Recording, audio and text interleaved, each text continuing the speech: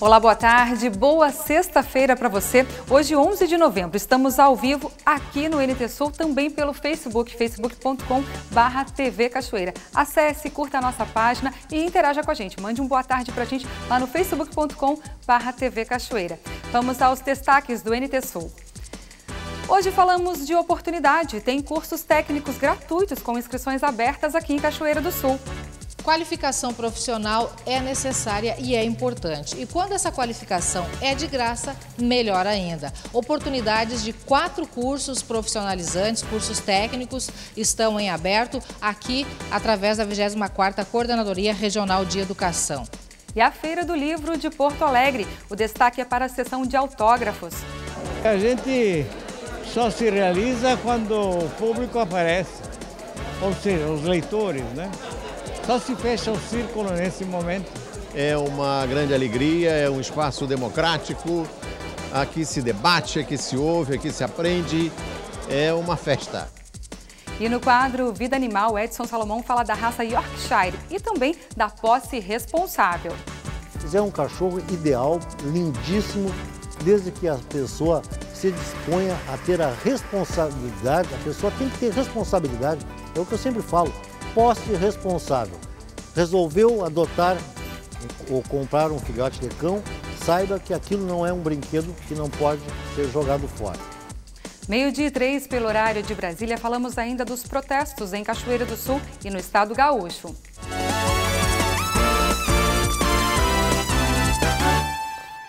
A empresa indiana Mahindra Tratores anunciou nesta semana um plano de expansão para o Brasil. O anúncio foi feito em Porto Alegre. A fábrica, que está localizada no município gaúcho de Dois Irmãos, receberá investimentos para a fabricação de novos modelos de tratores. A rede de concessionárias também será ampliada em todo o país. A Mahindra é uma das três maiores fabricantes de tratores do mundo, mas no Brasil as vendas ainda são pequenas. A ideia é ficar entre as três maiores também por aqui. Para isso, a empresa comprou os ativos da chilena Dramon, que era a administradora da marca, e decidiu atuar diretamente no país. Em Porto Alegre, o presidente nacional e o presidente da empresa nos Estados Unidos anunciaram o plano de expansão. A produção da fábrica da cidade de Dois Irmãos deve ser ampliada nos próximos três anos. O nosso objetivo é, pelo menos, dobrar nossa, os nossos, nossos funcionários, hoje lá na, na, na unidade de Dois Irmãos, e dobrar também de volume de produção. Atualmente, a empresa emprega 25 funcionários e produz três modelos diferentes de tratores. A gente tem planos para novos produtos, para mais produtos localizados, fabricados em, em, Dois Irmãos. Nós temos as parcerias com fornecedores, novos fornecedores, com a rede de concessionários. Nós pretendemos eh, dobrar o número de concessionários no período de um ano. Né? Junto com esse crescimento vem também né, toda a questão de, de, contratações, de mais colaboradores, eh, atuando no suporte a esses concessionários, na produção e etc. O estado do Rio Grande do Sul avança nas análises para viabilizar a produção ampla de biogás. Um Atlas lançado no segundo semestre deste ano é referência. No Atlas está o levantamento de todos os locais onde é possível produzir biogás no estado. Restos de frutas, excrementos de animais, cascas de ovo, tudo pode ser tratado e transformado em energia.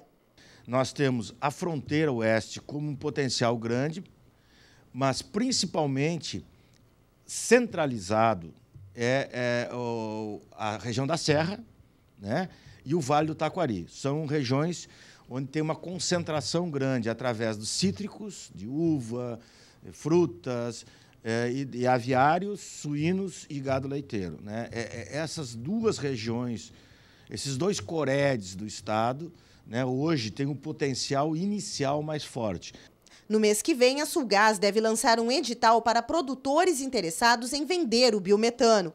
Eles poderão acessar linhas de financiamento e terão dois anos de carência para começar a produção. A expectativa da Sulgás é comprar pelo menos 200 mil metros cúbicos de biogás por dia, 10% do que é atualmente importado da Bolívia. Mesmo com a liberação de mais recursos, a construção da nova ponte do Guaíba deve seguir em ritmo lento. É o que afirma o sindicato que representa os trabalhadores do setor. As obras estavam paralisadas desde o final de outubro devido à falta de repasse do governo federal. Com a liberação de parte do recurso anual, a empreiteira responsável pela obra volta a contratar funcionários e retoma os trabalhos. Segundo o DENIT, o Departamento Nacional de Infraestrutura de Transportes, 150 funcionários estão trabalhando no canteiro. O Sindicato dos Trabalhadores nas Indústrias da Construção Pesada do Rio Grande do Sul afirma que são 80 funcionários. O presidente da entidade diz que a retomada deve acontecer aos poucos. A empresa está fazendo as contratações conforme vem o dinheiro. Acho que esse é um diferencial hoje nas obras. As empresas vão contratar conforme o governo pagar. De acordo com o DENIT, 38% da obra já está concluída. Até o final do ano, deve ser liberada mais uma parcela de 42 milhões de reais do recurso anual de 100 milhões. O valor total do projeto é de quase 450 milhões de reais. O DENIT reprogramou o prazo de entrega da obra, que ainda não possui data definida. Aqui em Cachoeira do Sul foi inaugurada na tarde de ontem a obra de calçamento da rua Gregório da Fonseca, no bairro Universitário. No convênio, 17 moradores investiram cerca de 70 mil reais na compra dos materiais e a prefeitura executou a obra em parceria com o Exército. O calçamento na rua Gregório da Fonseca era um sonho com pouquíssimas chances de se tornar realidade para este morador. O seu Jaime mora na rua há 25 anos ele conta que a mesma proposta foi apresentada para diversos prefeitos de Cachoeira do Sul. Ele quase desistiu. Foi várias lutas, tempo em tempo, um né? fazia esse mesmo acordo e não dava certo, vinha outro, fazia outro, e foi reunião aqui, reunião lá e nada. E agora, graças a Deus, com poucas reuniões aqui, saiu o calçamento. Saiu do papel. É, isso saiu do papel. E eu espero que todos que, que fizerem isso aí, que se deem bem, né? Esse acordo, assim, que saia mais acordo, mais acordo, porque só esperar, só esperar, é a mesma coisa de pedir para Deus as coisas e não agradecer, né? A gente pede, pede, pede e não agradecer, não vale nada. No acordo, 17 moradores investiram cerca de 70 mil reais. Eles investiram também na canalização né, e entraram com a pedra e a prefeitura entrou com o resto do serviço e executamos essa obra aqui num tempo recorde, né? Que não é costumeiro calçar uma rua em tão, em tão pouco tempo como foi executada essa aqui. E esperamos que este programa que nós criamos, que é a pavimentação comunitária, né, que já temos 10 ruas calçadas, temos mais duas ou três em andamento, tem mais umas 30 escritas, que tenha continuidade no próximo governo, porque é um programa em que a, o pessoal da comunidade se organiza, né, os vizinhos se aproximam e divide essa dificuldade que é de ter um calçamento. A obra levou aproximadamente 60 dias e não beneficiou apenas os moradores do bairro universitário. Nós demos a, a, o calceteiro porque a metade desse trecho que pega a escola, a metade da rua, então era a prefeitura que tinha que comprar a pedra. Né? Como os moradores compraram a pedra, inclusive para calçar a área da escola municipal, né? nós entramos com a mão de obra. É, o sonho era ver esse colégio aqui, as crianças andando aqui no calçamento, né? para tirar do atoleiro essas, essas pessoas. Já, para mim é muita coisa. Mas não foi apenas o seu Jaime que ficou realizado com o calçamento. Eu investi aqui, entendeu, a base de 5 mil, porque eu tive que pagar por, por, uns, por uns vizinhos que não podiam pagar, entendeu? Para que o calçamento ficasse na frente da minha casa, eu tive que pagar também por eles, né? E aí também eu quero agradecer o Exército, entendeu? Que deu um grande apoio aqui, entendeu? Em mão de obra, né? os soldados vieram aqui também, né? Que aí a, a equipe da Prefeitura de Calçamento é pequena, né? E essa rua aqui é uma extensão muito grande, são 600 metros de calçamentos, é muito grande, então ia demorar muito. Mas aí o Exército veio e nos apoiar. Agora é oficial. A Força Nacional de Segurança vai continuar no Rio Grande do Sul até o fim de janeiro do ano que vem. Com a permanência da tropa especial no estado, durante o verão, a Brigada Militar deve ampliar a Operação Avante no litoral norte. A permanência foi estendida até 31 de janeiro. Além do policiamento ostensivo, a Força Nacional também vai fazer o trabalho de perícia e de polícia judiciária. Com a permanência da tropa em Porto Alegre, a Brigada Militar deve deslocar parte do seu efetivo para combater o aumento da violência no litoral. A Operação Avante no Litoral, lançada no mês passado, vai ser ampliada durante a temporada de veraneio. A Brigada Militar também espera o resultado do processo de seleção dos bombeiros civis para determinar quantos militares vão ser deslocados para a Operação Golfinho a partir de 20 de dezembro. É, vai depender da qualidade daqueles que se apresentaram. Mas a brigada está também organizada para poder, ou seja, a nossa preocupação, tem uma guarita, tem que ter um salva-vidas. Se não houver o um número suficiente de salva-vidas civis, a Brigada Militar vai apoiar o Corpo de Bombeiros Militar com policiais militares habilitados e treinados para a questão do salva-vidas. O comandante-geral da Brigada Militar lamentou a prisão de dois homens junto a uma lixeira em frente ao prédio do Palácio da Polícia. Então, hoje a brigada, que é a competência da brigada, além de prender e está fazendo muito bem a sua função, aliás, as polícias estão fazendo muito bem a sua função, que é prender as pessoas, agir, investigar e na polícia ostensiva, mas quando enfrentar essa questão de ter que, no caso da brigada, aguardar com preso na viatura, trazer para um local mais discreto, mas que ofereça melhores condições, até em razão do forte calor que está passando. Mas lamentamos muito a foto, mas não houve uma má intenção do a intenção dos policiais militares foi a melhor. O ruim foi a ideia de algemar numa lixeira. Parte dos 1.300 aprovados no concurso entregaram os documentos hoje no quartel-general da Brigada Militar. No dia 21, eles iniciam o curso de formação e, cerca de três meses depois, devem começar as aulas práticas, atuando no policiamento de escolas. A formatura deve acontecer em julho do ano que vem. Desde 2015, 3 mil brigadianos já se aposentaram no estado. Meio-dia e 13, estamos ao vivo e transmitindo simultaneamente pelo Face. Acesse a nossa página facebook.com TV Cachoeira. Curta a nossa página e interaja com a gente. Uma nova descoberta de fósseis na cidade de São João de Polesne, no Rio Grande do Sul, coloca o estado gaúcho em uma das mais importantes rotas para o estudo de, dos dinossauros.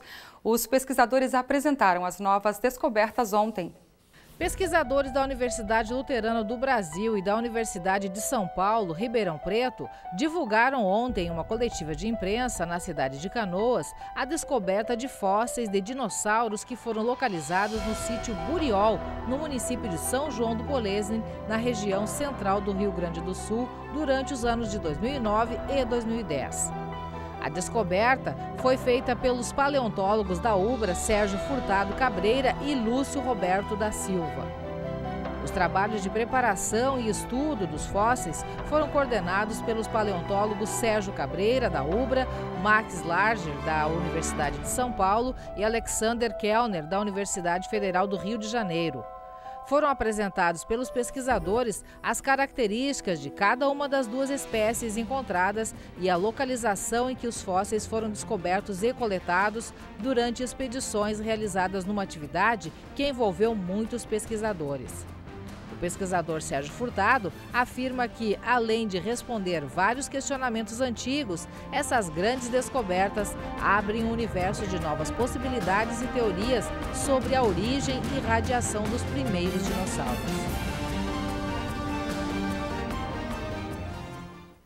Meio-dia e 15, a seguir você confere a programação da Fena Fest 2016 em Cachoeira do Sul e a Feira do Livro em Porto Alegre. O destaque é para a sessão de autógrafos. A gente só se realiza quando o público aparece, ou seja, os leitores, né? Só se fecha o círculo nesse momento. É uma grande alegria, é um espaço democrático, aqui se debate, aqui se ouve, aqui se aprende, é uma festa.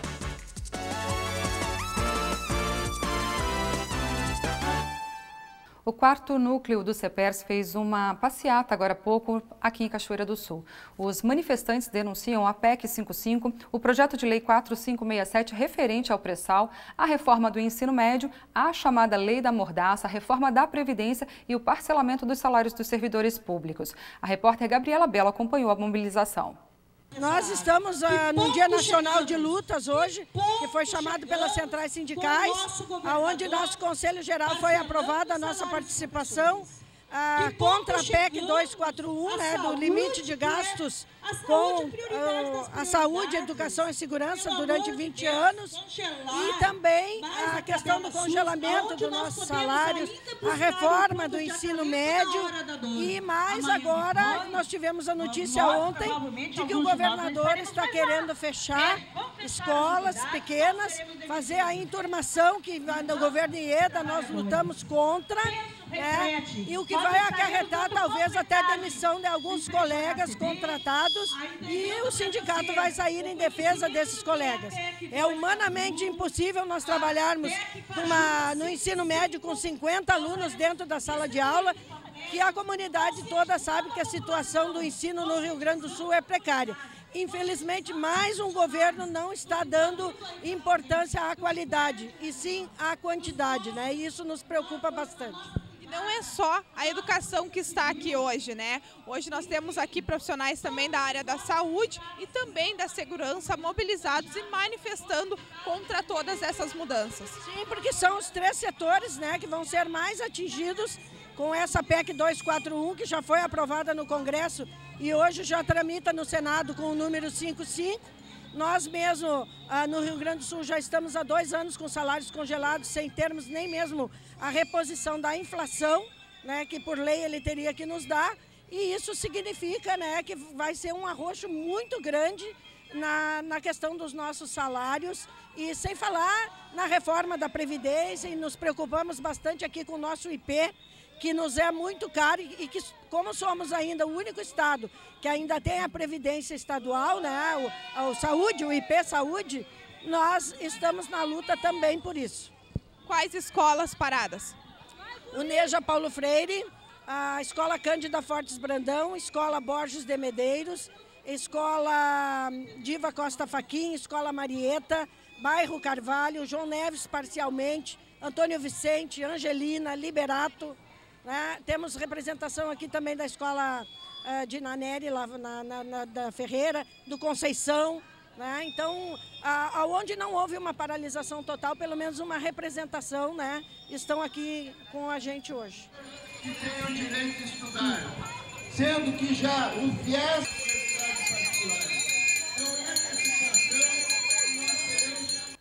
O secretário da Associação dos Policiais Militares, Carlos Hernani, falou sobre as lutas da categoria que também aderiu à mobilização aqui em Cachoeira do Sul. O que nos leva a participar em conjunto com as outras entidades representativas dos servidores públicos é a preocupação com o nosso futuro. Na razão da nossa previdência, que não sabemos qual é o regime que seremos abrangidos, na situação dos nossos reajustes salariais, que reflete também nas condições de acesso à nossa carreira, que é uma carreira típica do Estado, em que nós temos sempre a oportunidade de almejar postos e graduações é, proporcionados por cursos e concursos internos. De outra maneira, também nos preocupa a questão dos nossos equipamentos de segurança, das viaturas, do armamento, enfim, daquilo que é colocado para a nossa defesa da nossa integridade física pelo próprio Estado. Não sabemos como que vai ficar essa questão, até porque é, os equipamentos disponibilizados eles têm validade e têm condições de, com o tempo, perderem a capacidade de defender o policial. A outra, outro motivo que nos leva a vir se manifestar publicamente é a questão do nosso parcelamento de salários que tem nos intranquilizado e trazendo até com que companheiros de farda passem por necessidades de até alimentação. Governador opressor, paga o nosso salário em dia. Está presente. Em Santa Maria, professores e alunos da Universidade Federal, a UFSM, optaram por paralisarem as atividades acadêmicas em protesto pela aprovação da PEC 55. Os estudantes participaram da assembleia realizada ontem à tarde. Os professores da Universidade Federal de Santa Maria decidiram na noite de quarta-feira, em assembleia com mais de 180 participantes, entre professores e acadêmicos, que irão aderir ao movimento grevista, que atinge mais de 40 universidades federais no país, e paralisar as atividades a partir da próxima segunda-feira. Mas a movimentação em torno da greve não parou por aí. Uma assembleia do Diretório Central dos Estudantes de Santa Maria reuniu milhares de alunos dos cursos da universidade na tarde desta quinta-feira. O encontro colocou em discussão o apoio à greve dos servidores e professores e as ocupações dos prédios da universidade. As ocupações tiveram início na última terça-feira com a tomada do prédio 17 de Geografia e foi seguida pelos prédios 74A e C do Centro de Ciências Sociais e Humanas, Centro de Artes e Letras, prédio 40 e 16B do Centro de Educação. As pautas são as mesmas dos servidores técnico-administrativos, em greve há mais de uma semana, e dos professores federais, que hoje integrarão uma mobilização nacional de greve. Em Santa Maria, será realizado um ato público às 5 horas da tarde na Praça Saldanha Marinho. Professores da rede pública e vários sindicatos vão participar do protesto. As mobilizações de professores e estudantes são uma resposta à PEC 55, antiga PEC 241, que congela por 20 anos os gastos públicos em educação e saúde, a medida provisória 746, que propõe a reforma do ensino médio e a reforma trabalhista do governo federal.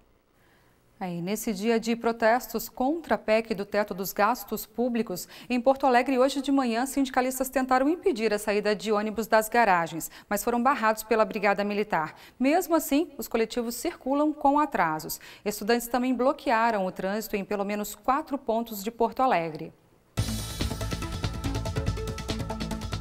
Foram vários os pontos de bloqueio na capital gaúcha hoje de manhã.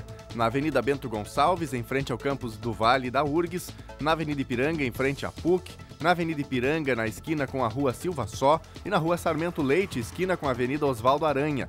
Os protestos refletiram em congestionamentos no tráfego. Duas manifestações de estudantes que fazem ocupações em universidades causaram bloqueios na Avenida Ipiranga. Policiais do Batalhão de Operações Especiais da Brigada Militar utilizaram bombas de gás lacrimogênio para liberar o trecho no cruzamento com a Rua Silva Só, no bairro Santana. No cruzamento da Rua Sarmento Leite com a Avenida Oswaldo Aranha, no sentido bairro Centro, também teve bloqueios momentâneos em função de manifestação de estudantes, conforme a IPTC. No trecho, a Brigada Militar também atuou com o uso de bombas de gás. Um cinegrafista da Band ficou ferido na ação com estilhaços que atingiram o rosto. Na Avenida Mauá, no centro, sindicalistas fizeram bandeiraço, mas sem interferir no trânsito de veículos. Antes das 6 horas, houve tumulto em frente a garagens de ônibus em algumas empresas da capital, o que gerou atraso na saída dos primeiros horários de algumas linhas. O protesto de sindicalistas é contra ações do governo federal, como a reforma da Previdência e a PEC do teto de gastos públicos. É, por um lado, são greves, paralisações, por outro, são tomadas de decisões, emendas constitucionais sem participação da população, má gestão dos recursos públicos, e isso tudo gera instabilidade em todos os setores da economia. E quem será que paga essa conta? Quem será? Veja o comentário de Júlio Mafuz.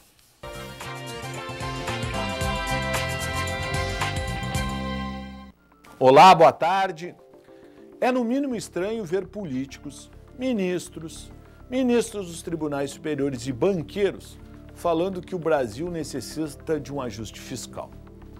Isso é como aquela festa em que os charutos são acendidos com notas de 100 dólares, os vinhos custam a bagatela de mil dólares a garrafa, a comida é servida e sequer tocada e você assiste tudo isso do lado de fora. Louco de fone, mas não foi convidado e sequer as migalhas pode tocar. Então, um belo dia, esses mesmos que não te convidaram vão até a tua casa e dizem que você tem que pagar uma parte desta festa. Mas só um pouquinho, você não comeu e terá que pagar conta? Por acaso o seu salário subiu que nem o salário do judiciário? Sua aposentadoria é integral? Não existe mais fila no SUS? A educação pública é tão boa como a particular, Você fez obras superfaturadas para a Petrobras? Tirou algum financiamento do BNDES? Ó, o tal ajuste fiscal é isso. Teremos teto para gastos na saúde, educação e no salário mínimo e nas aposentadorias. Mas eu não vi teto para o legislativo ou para o judiciário, por exemplo. Ou seja, nós iremos pagar a conta dos gastos excessivos dos de sempre e ainda por cima, nós que precisamos tanto do Estado, ficaremos cada vez mais longe dele. Falei e assino embaixo.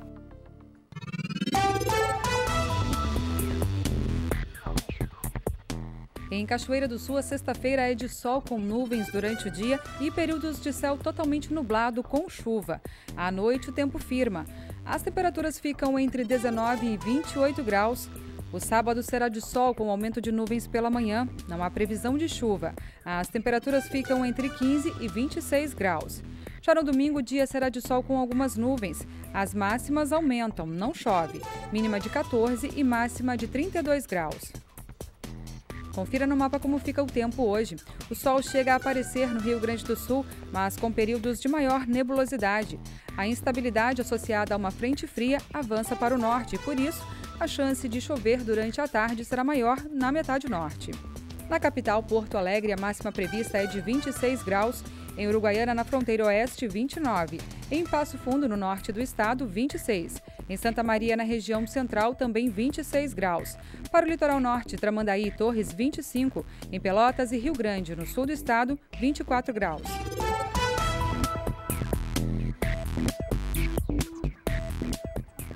As escolas estaduais de Cachoeira do Sul estão oferecendo cursos técnicos em nível de ensino médio. Quatro cursos estão com inscrições abertas. Lena Caetano traz mais informações. Qualificação profissional é necessária e é importante. E quando essa qualificação é de graça, melhor ainda. Oportunidades de quatro cursos profissionalizantes, cursos técnicos, estão em aberto aqui através da 24ª Coordenadoria Regional de Educação. Nós vamos conversar com a Eliane a respeito desses cursos. Boa tarde, Eliane. Boa tarde. Primeiramente agradeço, né? Nós aqui da coordenadoria agradecemos essa oportunidade de poder divulgar então os, os nossos cursos que estão sendo ofertados em Cachoeira do Sul. As inscrições já estão em andamento, né? Sim, elas estão em andamento e elas, uh, o, o, candidato ele pode se inscrever pelo site até o dia 30 de novembro, ou pode ser feito também pessoalmente na secretaria das escolas que oferecem os cursos. Esses cursos, eles têm uma carga técnica, são cursos técnicos, né? Eu acho que é importante sempre salientar a gratuidade desses cursos, né, Eliane? Isso é uma grande oportunidade, porque os nossos cursos, então, eles envolvem, eles oferecem, né, a, a condição para que o aluno de, das escolas públicas, ou também quem já tenha terminado o ensino médio, fazer um, uh, ter essa opção de fazer um curso profissionalizante que dá condições ao, ao trabalho, né? Bom, nós aqui na CRE reunimos os quatro professores coordenadores desses cursos. E a partir de agora você vai saber um pouquinho mais sobre cada um deles e como você pode desfrutar o máximo possível dessa, dessas formações, dessas qualificações técnicas. Vamos conferir. É, nosso curso é um curso técnico voltado para gestão e empreendedorismo, né? Ele, é, ele tem duração de dois anos, com quatro módulos, e ele atinge alunos pós-médio, quer dizer, que tem, terminaram o segundo, o médio, o segundo grau antigo, ou o concomitante, que está no segundo ano do, do médio agora. Ele, ele é, prepara o aluno para o mercado de trabalho, voltado para a administração né, da empresa, ou para pequenos negócios no início. É um curso profissionalizante que ele capacita professores a trabalharem com a educação infantil até o quinto ano do ensino fundamental. Nós oferecemos o ensino médio, né, que ele é duração de três anos e meio ano de estágio para quem termina o ensino fundamental e está procurando o ensino médio. Temos também a opção do curso pós-médio, que são para pessoas que já possuem o ensino médio e estão buscando uma profissão no mundo do trabalho. O curso abrange uh, profissionais da área de, da contabilidade. Né? É, oferecemos vagas para para alunos na forma subsequente e concomitante. Subsequente para quem já terminou o ensino médio, concomitante para quem está é, no, no, segundo ano do ensino médio, que pode cursar junto lá o curso técnico de contabilidade e se formar junto, né? termina técnico de contabilidade, termina o ensino, a formação do ensino médio. Colégio Diva está no, no, no, no bairro Ponte Verde, aqui em Cachoeira do Sul, né? e o curso tem duração de dois anos. O curso técnico agropecuária ele é voltado para profissionais que trabalham tanto na, na, parte da agricultura quanto na parte da zootecnia. Então, a grade do curso compete a ambos os setores. Ele é destinado ao público em três modalidades. Pode ser concomitante ou pós-médio, e ainda na modalidade integrado, que o aluno ah, inicia o ensino médio na escola e faz junto já o curso técnico. Né? Então, na modalidade de uh, integrado, ele fica três anos mais o estágio obrigatório quando na modalidade concomitante ou na modalidade de pós-médio, ele fica por quatro semestres, dois, dois anos, mais o estágio obrigatório. Na, aí o estágio ele faz em propriedades ou empresas da região aqui. Técnico em administração, técnico em agropecuária, curso normal magistério e técnico em contabilidade. Quatro excelentes opções de formação, de qualificação. Eliane, vamos finalizar. Faz um chamamento para o pessoal aí para essa oportunidade muito importante. É, nós assim uh, convidamos todos os jovens, né, de todas as faixas etárias, acessarem o site. Lá, está, lá estão disponíveis todas as informações e aí uh, que, que, cada um possa, né, aproveitar, se informar mais sobre cada um dos cursos. De repente pode se a, a grande oportunidade da vida, né? Oportunidade, né, da, da sua vida, porque afinal de contas nós estamos vivendo num período onde a formação ela ela dá uma grande oportunidade, né? Ela qualifica o profissional e, e é uma oportunidade ao mundo do mercado de trabalho. Obrigada pela tua participação conosco no NTSU. Está aí na telinha, então, o endereço virtual. Acesse, se informe, se inscreva e participe. Pode ser a sua grande oportunidade. Isso mesmo, Lena. Agora, meio-dia e 37 pelo horário de Brasília, vamos para a Feira do Livro de Porto Alegre. A Praça de Autógrafos é, sem dúvida, o lugar de maior movimentação diária no local. Ali é o espaço onde o escritor encontra pessoalmente o seu público e onde o leitor pode trocar algumas palavras com os autores de suas obras preferidas. Faça chuva ou faça sol e até mesmo à noite, tem um espaço na Feira do Livro que fica sempre assim, lotado. A Praça dos Autógrafos. A tradição de colocar frente a frente autores e público é antiga. Vem desde a segunda edição do evento, em 1956. No início, os escritores ficavam nas bancas das suas editoras. Mas hoje a área reservada é destaque no tradicional evento de literatura da cidade. Este ano são mais de 700 sessões e 2 mil autores participantes. É um espaço de encontro entre os autores e os seus leitores. É um espaço que hoje em dia a pessoa vem, encontra o autor pessoalmente, tira uma foto, ganha um autógrafo. Uh, e aqui na nossa feira, o espaço da praça é um espaço muito democrático. Autores independentes autografam junto com autores de editoras grandes. Uh, ninguém paga para fazer sessão de autógrafos, então todo mundo que quiser autografar, inscrevendo-se através de um associado, tem a chance de autografar o seu livro. De hora em hora, as placas com os nomes dos autores são trocadas e o público se renova. Para os escritores, esse é um momento especial pois é na conversa com os leitores que se tem um retorno do trabalho produzido. A gente só se realiza quando o público aparece, ou seja, os leitores, né? Só se fecha o círculo nesse momento. É uma grande alegria, é um espaço democrático, aqui se debate, aqui se ouve, aqui se aprende, é uma festa. Às vezes a gente escreve e a gente não sabe nem se o livro vai ser publicado, né? Então também não tem como saber se vai ser lido o livro. Essas oportunidades propiciam, propiciam esse encontro do autor com o leitor, né? isso é bem bacana.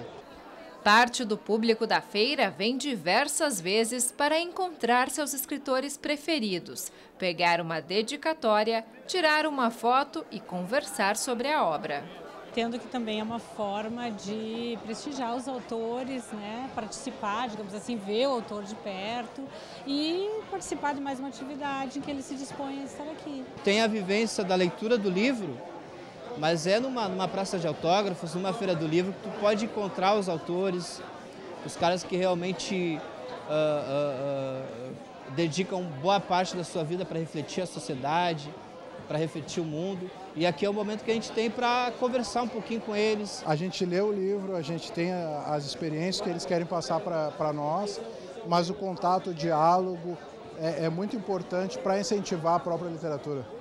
Até o dia 15 de novembro, muita gente ainda vai passar por aqui. Para saber a programação completa das sessões de autógrafos, é só entrar no site oficial da Feira do Livro de Porto Alegre. E o escritor cachoeirense Ayrton Ortiz lançou sua nova obra na Feira do Livro em Porto Alegre. Ortiz mostra em seu novo livro chamado Londres crônicas sobre sua experiência na capital britânica. Outro autor conhecido dos cachoeirenses é o médico e escritor Mário Botti. Ele também esteve autografando seu mais novo livro com o título de Médico e de Louco. Mário Botti nasceu em Porto Alegre, mas mora aqui em Cachoeira do Sul. Inclusive, eu o entrevistei no NT Sul quando ele lançou esse último livro. E amanhã começa mais uma edição da Fena Fest aqui em Cachoeira do Sul. A feira comercial neste ano terá um dia a mais e quatro eventos paralelos. Veja os detalhes na reportagem. A terceira edição da Feira Comercial começa neste final de semana. Além da programação tradicional, o evento deve trazer outras quatro atividades paralelas aqui para o Ginásio Arrozão. O presidente da 19ª Fena Rose e organizador da FenaFest conta que, como nas duas primeiras edições, haverá cobrança de ingresso. O ingresso ficou em R$ 5,00 o ingresso inteiro, meio ingresso para quem tem acima de 60 anos ou estudante com carteira de, com a sua carteirinha de estudante, é R$ 2,50. E para quem vai assistir o baile da terceira idade, o baile regional da terceira idade e o teatro é 10 reais. Paga 10 reais para entrar no parque e assistir o teatro. Se não quiser assistir o teatro, paga só os 5 reais. E o visitante, o que, que ele vai encontrar na feira comercial? Nós temos a feira comercial, que tem é, já produtos pro Natal, que nós estamos em pleno mês, véspera de Natal. Então nós temos bastante variedades, roupa, couro, enfim, tudo que, tudo que tiver no nosso comércio em Cachoeira vai estar aqui, com o pessoal de fora também. Nós fizemos uma parceria com, com, a, com a Micos, que é a, a Associação dos Micros Empresários, e nós temos eh, também o pessoal que vem aí de fora, que vem com produtos coloniais para vender aqui. Então a gente está fizemos um acordo aí com o nosso sindicato dos trabalhadores rurais que vão estar presentes aqui também. Nós temos também uma exposição de veículos de carros antigos, que vai ter aqui Deus de sábado, e atrações que vão ter diversas durante todo o período dos quatro dias. No feriado de terça-feira, dia 15 de novembro, será a vez do décimo Festival Estadual de Bandas Marciais. E quem faz o convite é o Jorge Mar, mor da banda marcial gonçalvense. Eu convido toda a comunidade cachoeirense a participar do nosso festival. Estaremos contando com a presença de 18 bandas, sendo que dessas, nove bandas serão a primeira vez que estarão participando do festival. As apresentações começam a partir da uma e meia da tarde e a diversão para a família não termina por aí. Tem o parque de diversões, o parque inflável, um parque diferente, um parque que vem de fora também, um parque inflável, bem moderno. Eu tenho certeza que a gurizada vai gostar muito. Eu espero em torno de 15, 20 mil pessoas. A gente está esperando é só o tempo nos ajudar e eu tenho certeza que vão nos ajudar.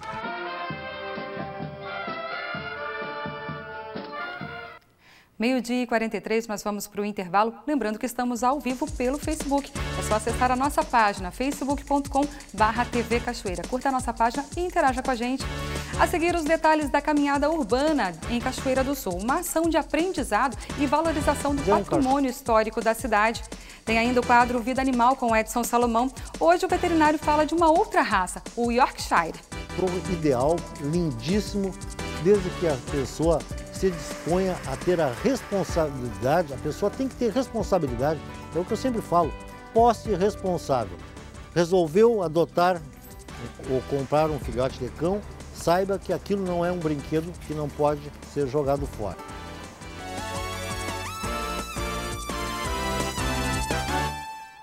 Alunos da escola Rio Jacuí tiveram uma manhã de estudos diferente nesta sexta-feira. Aprenderam história caminhando pelas ruas de Cachoeira do Sul.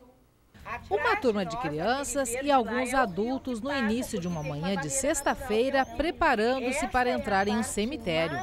Parece estranho, mas não é. São alunos do ensino fundamental da Escola Estadual Rio Jacuí que participam da primeira caminhada urbana. O projeto é uma parceria do curso de Arquitetura e Urbanismo da UFSM Campus Cachoeira do Sul e da 24ª Coordenadoria Regional de Educação. No cemitério das Irmandades, o mais antigo da cidade, eles descobrem que esse é um lugar de memórias, histórias, personalidades que fizeram história, ambiente onde aconteceu muita história. Eles percebem que este lugar oferece uma visão privilegiada do Rio Jacuí e que as quedas d'água do rio inspiraram e batizaram a cidade inicialmente chamada de São João da Cachoeira. E quando olharam para o alto, eles descobriram também muito, muito mais. Esta é a primeira caixa d'água da cidade. Ela faz parte, junto com o Chateau d'Eau, de um sistema de captação de água quando foi inaugurado. O Chateau d'Eau foi um pouco mais tarde, 1925, não é? E eles distribuíam água para a parte baixa aqui da cidade. Saber mais sobre o patrimônio histórico de Cachoeiro do Sul, conhecer fatos e curiosidades sobre a história da cidade, passeando pelas ruas do município, é fato único para muitas dessas crianças. E a intenção do projeto Caminhadas Urbanas é proporcionar essa experiência a mais três turmas até o final do ano. O projeto Caminhadas Urbanas envolve este ano as escolas Rio Jacuí, Antônio Vicente da Fontoura e Borges de Medeiros. E para os alunos que saíram da sala para esta aula diferente, a atividade representou uma nova e preciosa aquisição: o conhecimento das origens locais. O que, que tu está achando dessa aula de história ao ar livre?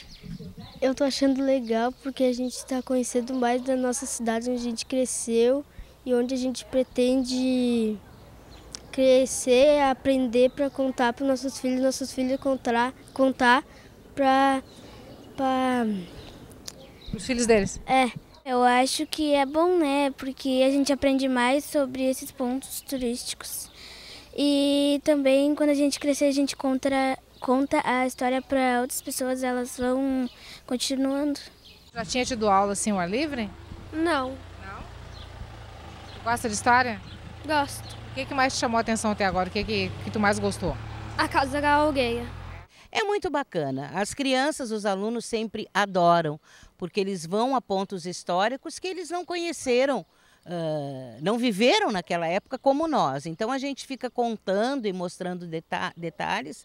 Eles se apaixonam, eles se entusiasmam, muitos deles já trazem essas informações porque os professores trabalharam ou em casa, e isso é gratificante. Nós só vamos conseguir formar, não é, essa mentalidade de preservação, da importância do patrimônio histórico através da educação. Por que, que a gente propôs tantas etapas, né? É uma etapa pré-caminhada, a caminhada e tem o pós-caminhada que a gente vai acompanhar com o professor da, da turma como que depois foi o, o, fechamento da atividade. Então o professor vai poder talvez trabalhar com alguns termos que a gente lançou, por exemplo, a gente está falando sobre a alcova, sobre o porão, sobre platibanda, sobre hidráulica, enfim, o professor pode fazer alguma, algum, alguma, algum trabalho nesse sentido. E hum, a nossa, o nosso objetivo é que daqui ainda tem um fechamento em sala de aula, então tem mais um, uma, uma, uma etapa ainda de fechamento. A professora da turma aplaude a iniciativa do projeto e garante que ele serve como importante reforço para o trabalho desenvolvido em sala de aula. Esse projeto veio para ajudar né, nessa, nesse conhecimento que os alunos vão ter e principalmente eu acho assim, ó, que tu só respeita e tu só ama aquilo que tu conhece. Então eu penso que essas crianças, eles não vão permitir que esse patrimônio seja destruído. Né. Eles vão cuidar, preservar. É uma cultura que se cria. Sim, é uma cultura que se cria e que com certeza vai né, perpetuar pelas gerações. Isso mesmo, conhecer para preservar. Hora de vida animal, o veterinário Edson Salomão fala de um outro animalzinho de estimação, o Yorkshire, veja só.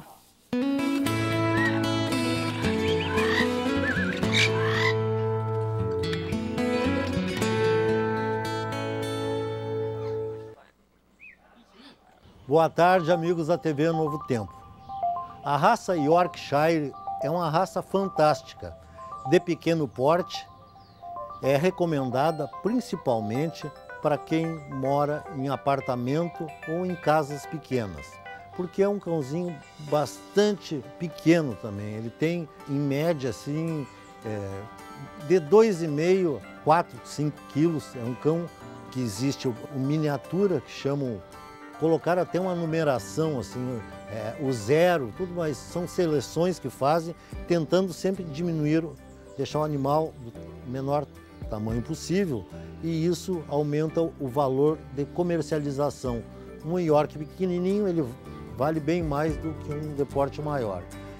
Ele tem, tem que ter certos cuidados com essa raça, principalmente na hora de tratar o pelo.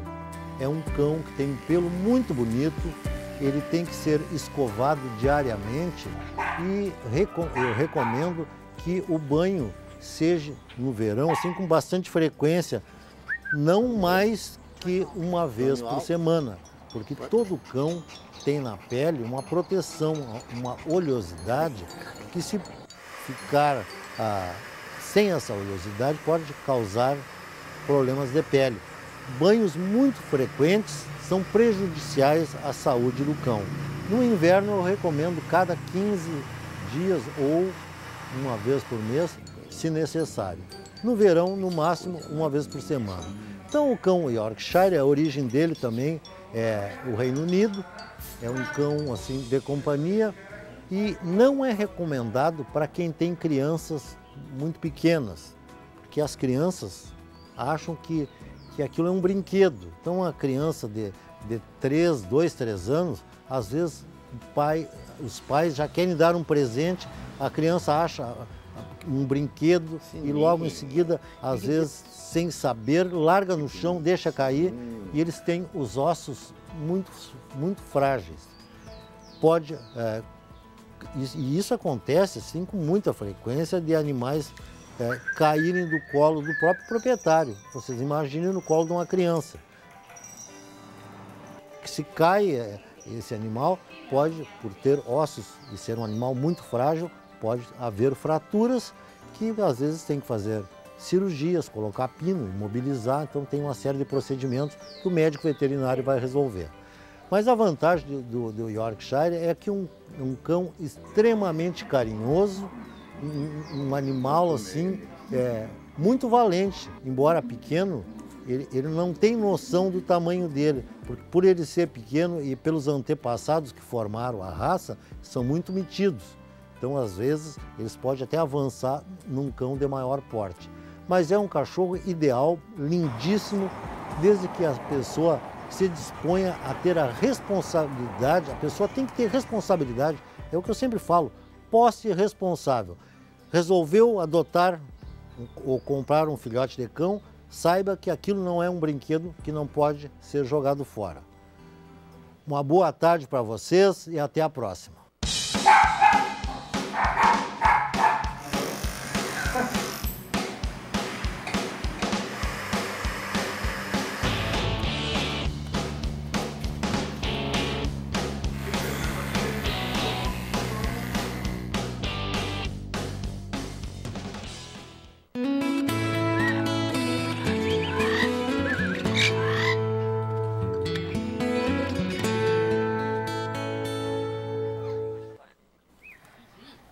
O NT Sul desta sexta termina agora. Obrigada pela sua companhia. Um excelente fim de semana para você. Até segunda. Tchau.